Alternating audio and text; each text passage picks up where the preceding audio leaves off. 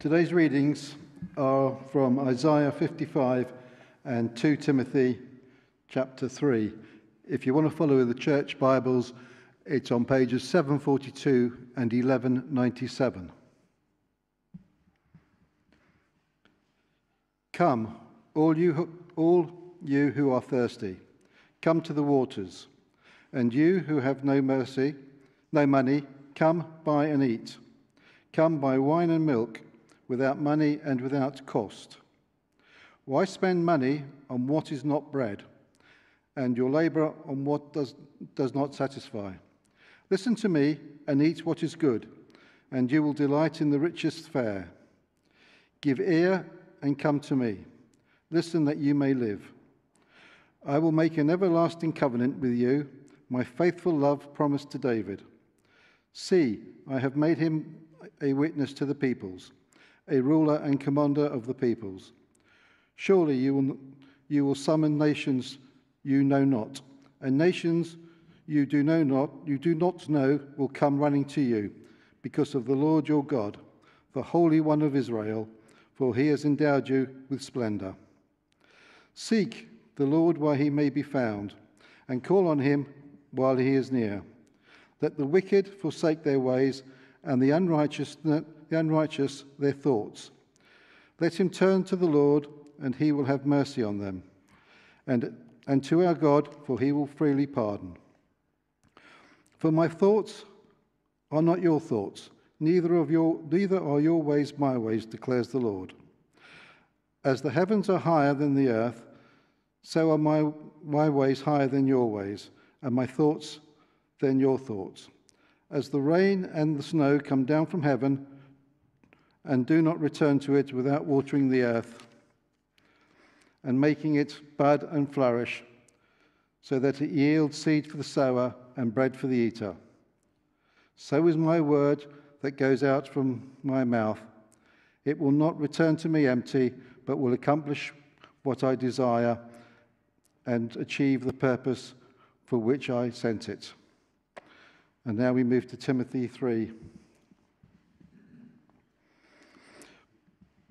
But as for you, continue what you have learned and have become convinced of it because you know from those whom you learned it, and how from infancy you have known the Holy Scriptures, which you are able to make, to make you wise for the salvation through faith in Christ Jesus. All Scripture is God breathed and is useful for teaching, rebuking, correcting, and training in righteousness, so that the servant of God may be thoroughly equipped for every good work.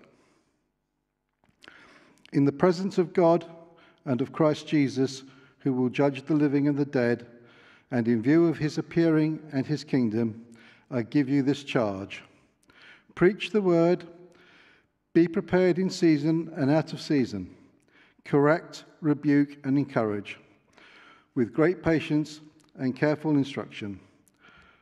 For the time will come when people will not put up with sound doctrine. Instead, so to suit their, desire, their own desires, they will gather around them a great number of teachers to say what their itching ears want to hear. They will turn their ears away from the truth and turn aside to myths. But you, keep your head in all situations, endure hardship, and do the work of an evangelist. Discharge all the duties of your ministry. This is the word of the Lord.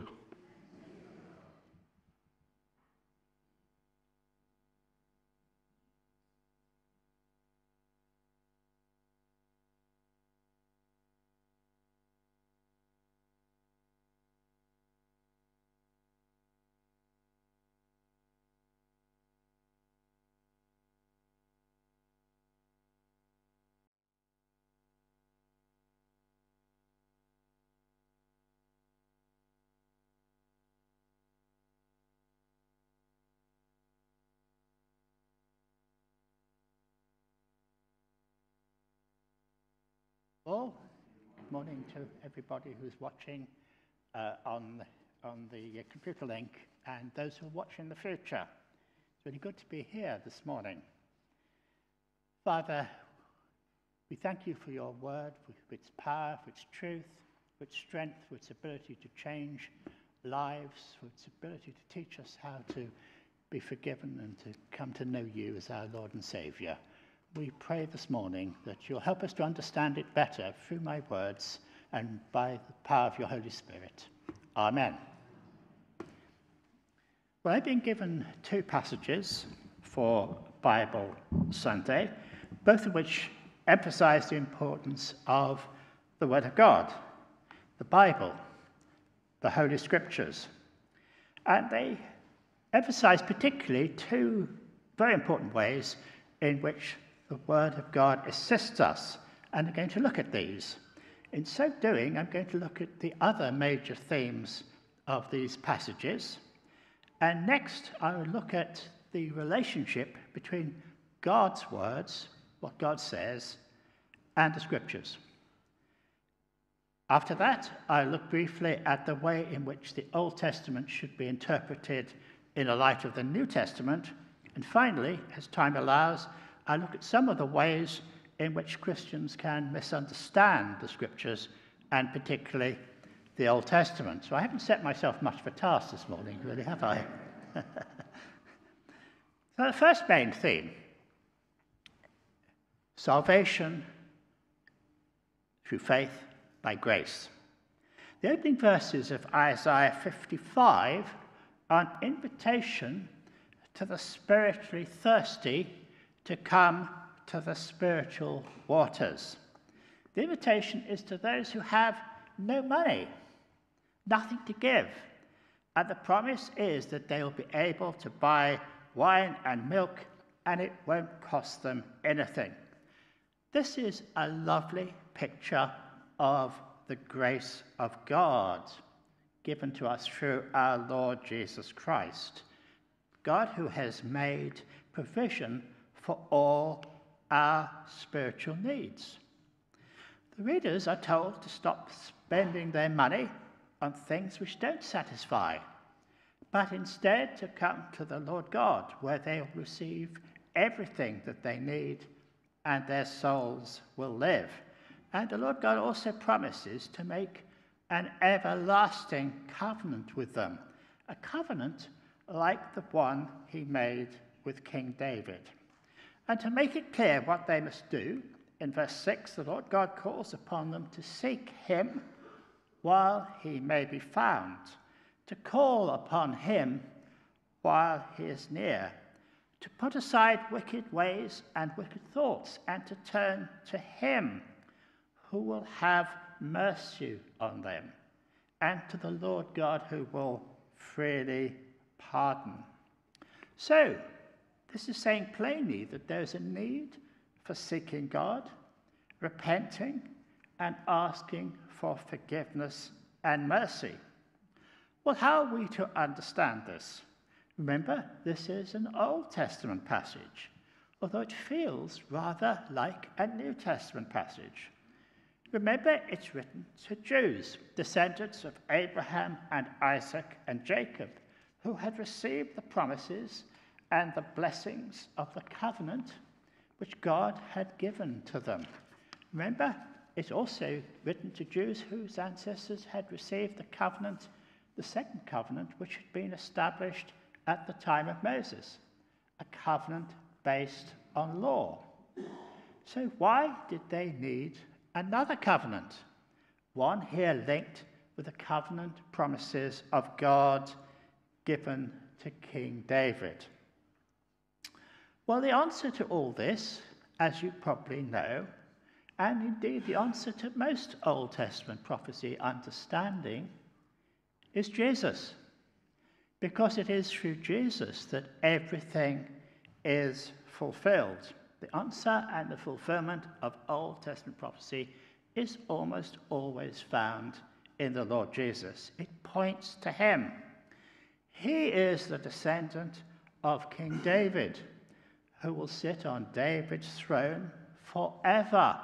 That was the covenant that God gave to King David, a promise that one of his descendants would sit on his throne forever. And that is fulfilled in the Lord Jesus. He is the mediator of the new covenant, the one who stands between God and man to bring into action the new covenant, a covenant which ultimately was to be made through the shedding of his blood on the cross at Calvary. The Old Testament passage is an invitation to a New Testament relationship with the Lord God through his only begotten Son, Jesus. Now, the covenant with Moses, of course, was a covenant based upon keeping the law. But the new covenant, just as the covenant given hundreds of years before the covenant to Moses to Abraham, was a covenant of grace. It was based upon God's promises, what He would do, and not upon what we had to do. It's available to those who have no money, who have nothing to offer for their salvation, because the price has already been paid and it cost the Lord God the life of his son Jesus and the suffering of Calvary. Well, that's the Old Testament on the gospel message. But what does 2 Timothy passage have to say about this? If we look at verse 15 of chapter 3, we find that the Holy Scriptures are able to make us wise for salvation through faith in Christ Jesus. Now remember that when Paul writes this, the New Testament scriptures are still in the process of being written. Paul will not have known at that time that his letters to churches and to individuals like Timothy would eventually come to be accepted as part of the Holy Scriptures. There are clues in the New Testament this was starting to happen. Peter in 2 Peter chapter 3, verse 16, refers to Paul's letters, and he says they're really difficult to understand. But he refers to them as scriptures because he refers to the Old Testament and possibly some of the New Testament writings as the other scriptures. So, what I'm saying is that Paul in 2 Timothy is referring mainly to the Old Testament. So, the Old Testament is able to make us wise for salvation through faith in Christ Jesus.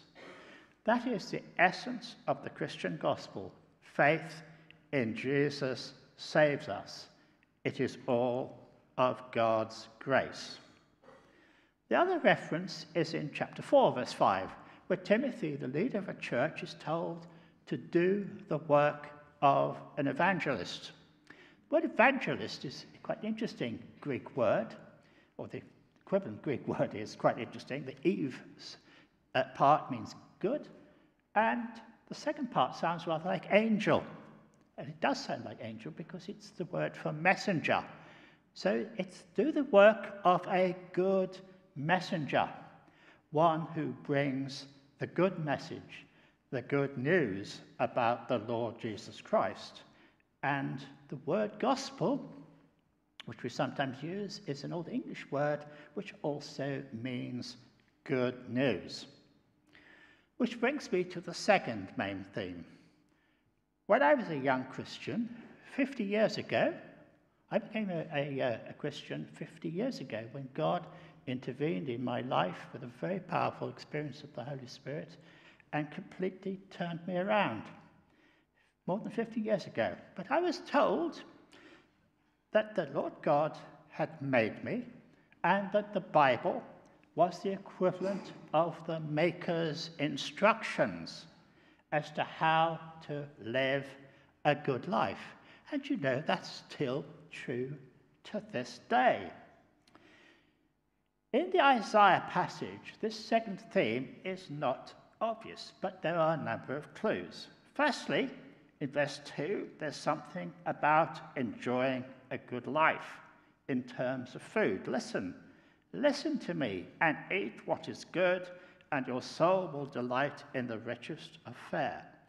Then in verse 9, there's a statement that God's ways are higher than our ways, and his thoughts are higher than our thoughts.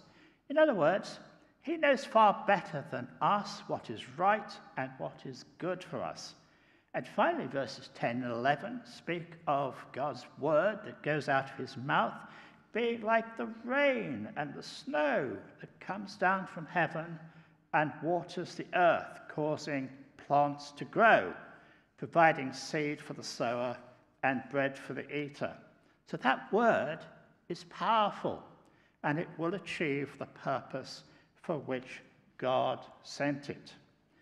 Now, for a Jew at the time of the prophet Isaiah, it was impossible to separate God's word from the Holy Scriptures, particularly from the first five books the, the, uh, of the, um, the Torah, of the first five books of the Old Testament law.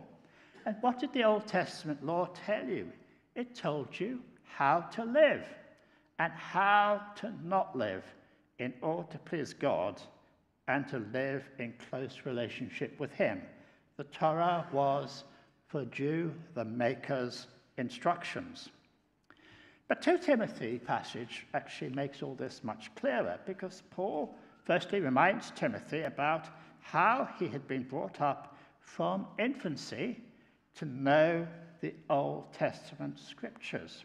Chapter 1, verse 5, Paul writes about the faith of Timothy's mother Eunice and grandmother Lois.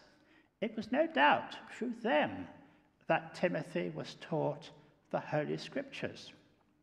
Now, I'm reminded that it has been said that one of the main reasons why the Christian faith survived in Russia through the long communist atheist years was the Russian grandmothers. The grandmothers who passed on their faith to their grandchildren. Now, I know everything's not going right in Russia these days, but the faith was preserved in Russia through those dark atheistic times, through grandmothers passing on their faith. So, you and me, older folk, we've got a work to do in terms of sharing our faith with our children and our grandchildren and encouraging them, just as Timothy was encouraged and taught by his mother and his grandmother. Verse 16 contains Paul's teaching about the divine inspiration of Scripture, and particularly, of course, we're still looking mainly at the Old Testament. All Scripture is God breathed. It's an interesting idea, isn't it? That God has breathed into it his word and his truth. Now, we need to understand that although some scripture is directly the words of God himself, God speaking to the prophet, the prophet faithfully conveying God's words, or we have God's words through the teaching of Jesus, with the words of Jesus being faithfully remembered and recorded by the apostles, or indeed conveyed to the gospel writers like Luke, who went round talking to the people who'd known Jesus and finding out exactly what had happened. But most of Scripture is not directly God's words. Most of Scripture is the words of the writer themselves. And that's why it's important that we understand that they write with the inspiration of the Holy Spirit. But the Bible is a very complicated book. In fact, it's a library of different books. And there are all sorts of situations that arise. There are some situations, some parts of the Bible, um, between Psalms and in books like Jeremiah, where the writer isn't actually saying what God is saying, he's simply expressing his own anger or frustration. He's being very human in talking about how he actually feels. Sometimes what comes out isn't actually very godly. It's not the thoughts or words of God, it's the thoughts and words of an angry, frustrated person. But nevertheless, it is there in Scripture, not as an example of how we should think, but to help us to understand that we are not alone when we are angry or frustrated, and that even the good believers of the past shared this experience. All Scripture is useful for teaching, rebuking, correcting, and training in righteousness, so that the man of God and the woman of God may be thoroughly equipped for every good work. In other words, it is, as I've said before, the Maker's instruction manual.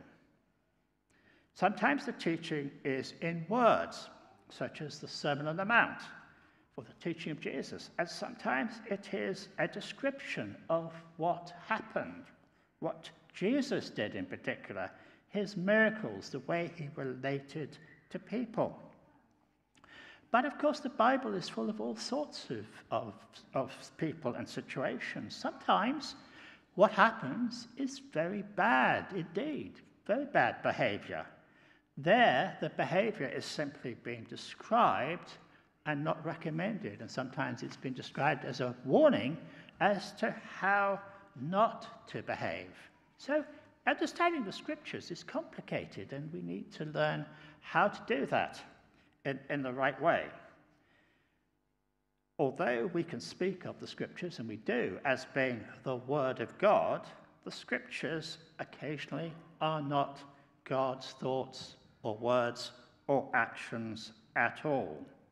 They are a description of how people behaved in a particular time, whether that behavior was good or bad. And it takes discernment to tell when God is speaking and when the writer is sharing how he's feeling at the time. Yet through all of it, we can learn important lessons. Sometimes those lessons are how not to behave. Sometimes they are to reassure us that even the great believers of the past made terrible mistakes. And yet some, somehow the Lord God continued to forgive them and to use them despite those mistakes. That's always an encouragement to us. That's so in the New Testament as well. We see, we see the disciples just failing to understand what's happening or, or deserting Jesus in his time of need, and yet the Lord restored them and used them in a powerful way. Now, the relationship between the Old Testament and the New Testament. The first thing I need to say is that both the Old Testament and the New Testament are written about the same God. There is a heresy, and was a heresy historically, that the Old Testament was somehow written about a different God, a more angry, vengeful God. Rubbish, utter nonsense. It's all about one God. Second thing is we need to understand there are powerful themes which run between both. And I've already mentioned the greatest theme of all the theme of salvation by grace through faith. The Old Testament people were forgiven and accepted by the Lord God on the basis of their faith, beginning with the covenant which the Lord God made with Abraham. That covenant was based upon God's grace and Abraham's response of faith. He believed the Lord, and the Lord counted it to him as righteousness. And if you want to understand that better, that, that great theme running throughout, then look at what Paul writes in Galatians and Romans, or what the writer of Hebrews has to say. The covenant of law, which was given by Moses, never superseded the covenant of grace. That's what Paul says plainly. The animal sacrifices were never effective in themselves, but they pointed forward to the one complete and sufficient sacrifice which was to come, which was the self sacrifice of Jesus on the cross at Calvary. They were prophetic in the sense that they pointed forward to that great future event. The Old Testament law merely showed people how they should live, and that a sacrifice was necessary in order to deal with the human sin problem. And that's why the writer to Hebrews writes that the great Old Testament saints did everything by faith and writes that, that we and they are to be made perfect together. Now, we're having studies at the moment on the book of Revelations, and the book of Revelations contains a lot of symbolic numbers. One of the symbolic numbers is the number 24. It keeps on coming up. 24. 12 tribes of Israel plus 12 apostles equals 24. 24 is the number of the Old Testament and the New Testament people together as one body of believers who are saved by God's mercy through the Lord Jesus Christ's death, by grace through faith. Now, a little time to speak about common misunderstandings of the scriptures, particularly of the Old Testament. I've already spoken of some. Firstly, there's a failure sometimes to understand that the fulfillment of Old Testament prophecy is almost always going to be in the Lord Jesus. There are dear Christian people who think that God is going to turn the clock backwards and take us back into an Old Testament type of scenario so that all the Old Testament prophecy can be literally fulfilled. The late Clarence Scofield, I'm sure many of you remember Clarence, preached here for many years, lovely man. He taught me something helpful about that. He said that if he promised somebody a £10 note, but instead gave them a £50 note, then he had fulfilled his promise. So it is with the Old Testament. Jesus is the £50 note. God promises to the Old Testament people various things in Scripture, and he over fulfills that promise in the Lord Jesus Christ. Doesn't give the £10 note, he gives the £50 note instead. And all of God's promises are going to be fulfilled much better in Jesus than the Old Testament promised. So these dear people who still want a literal £10 note when they already have a £50 note in Jesus. And a very quick example of that is those who think that the temple prophesied by Ezekiel will still be built as a third temple. But, but there was a third temple. Jesus said, Destroy this temple, and I'll build it again in three days. Jesus is the third temple. He was speaking of his own body. Jesus is the over fulfillment of the prophecy of another temple. Secondly, I've already mentioned the misunderstanding that people have that God's plan of salvation was always the same by grace through faith. Certainly, sometimes there's a failure to understand reading the scriptures when God is speaking, and when it's a very human voice speaking in anger or frustration. One can ask oneself a simple question Would Jesus have wanted this, or done this, or said this? Fourthly, there's a failure sometimes to understand passages in their historical context. You see, in the Old Testament in particular, God doesn't speak in a vacuum, He speaks in a historical context at the time. So we need to ask ourselves what is happening and what is God saying and what does it mean? As a young Christian, I remember the phrase, the joy of the Lord is our strength, being applied as if it were a New Testament statement. Just great, great, isn't it? The joy of the Lord is our strength. Well, hey. but the context of the verse was the deep repentance of the people of God when, at the time of Ezra, the priest, they found that they had not been keeping God's commandments for many years. They were broken and in tears. And the priest Ezra is seeking to reassure them that they're still loved and valued by God, who will forgive them and fill them with joy because of their genuine repentance. So we need to understand the Old Testament in its context. What's it saying? What's God doing? To fully understand it. Actually, we do that first of all, and then the second stage is we then say, yes, but how is this fulfilled in the New Testament? That's how, what it meant to them in the Old Testament, but how is this fulfilled or over fulfilled in Jesus in the New Testament? So, briefly, what can we learn from this morning? Firstly, the Bible is God's word to us, it is reliable and it teaches us everything which we need to know for salvation and for living a good Christian life. Secondly, that we have an important role in teaching our children and our grandchildren or other younger relatives in faithfully passing on the faith to another generation. Thirdly, that we need to learn how to understand the Bible, particularly the Old Testament, the context what sort of writing is it? Is it poetry? Is, is, it, uh, is it wise sayings? Uh, is it prophecy? Is it history? What is it? And having understood it in its original terms, we need to then seek to understand what it means for us in New Testament terms.